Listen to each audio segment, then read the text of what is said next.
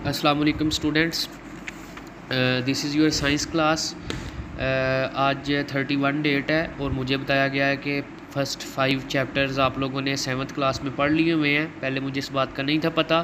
अगर आप लोगों ने चैप्टर इतने नहीं पढ़े या कम पढ़े हैं तो आप मुझे मेरे पर्सनल नंबर पे मैसेज कर सकते हैं। अब्दुल्ला अज़र नाम है मेरा, ठीक है? लिहाजा मुझे जो गाइडलाइन दी गई है, उसके मुताबिक चैप्टर सिक्स है हमारा आज। और chapter name is acids bases and salts पहला टॉपिक है हमारा acids the word acid is derived from Latin word acidus means sour sour का मतलब होता है खट्टा.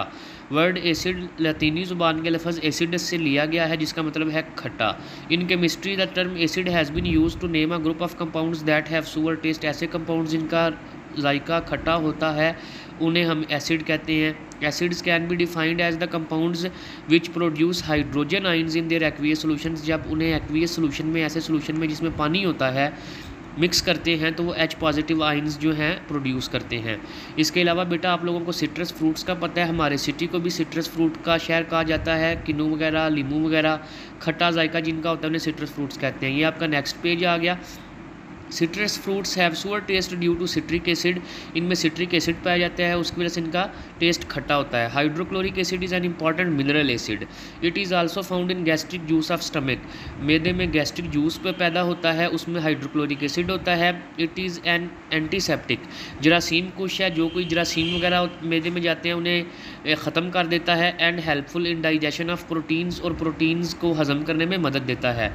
सोर्सेज ऑफ़ कॉमन एसिड्स बेटा generally acids are obtained from two different sources दो तरीक़ों से हम एसिड हासिल करते हैं। Some acids occur in plants and animals कुछ पौधों और जानवरों से which are known as organic acids while other are obtained from minerals which are known as mineral acid जैसा कि हाइड्रोक्लोरिक एसिड्स है।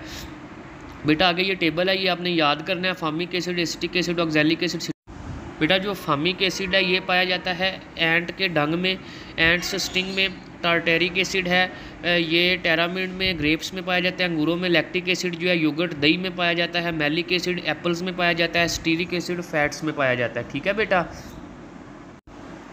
और ऐसे ही सिट्रक एसिड जो है, वो फ्रूट्स में पाया जाता है, सिट्रस फ्रूट्स में, किन्नू, लीमू वगैरह में ऑक्जैलिक एसिड जो है, टोमेटोज़ में पाया जाता है, टमाटर वगैरह में, एसिटिक एसिड विनेजर सिरका में, फार्मिक एसिड, एंड्स, स्टिंग चूंटी के डंग में।